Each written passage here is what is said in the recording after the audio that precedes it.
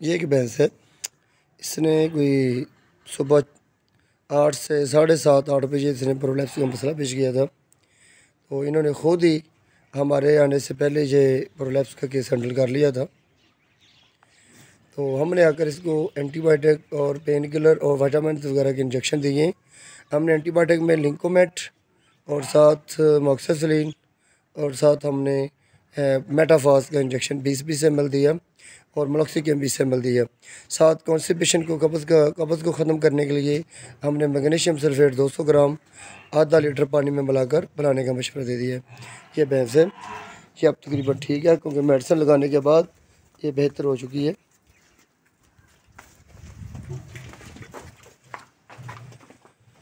चलो जी, सर।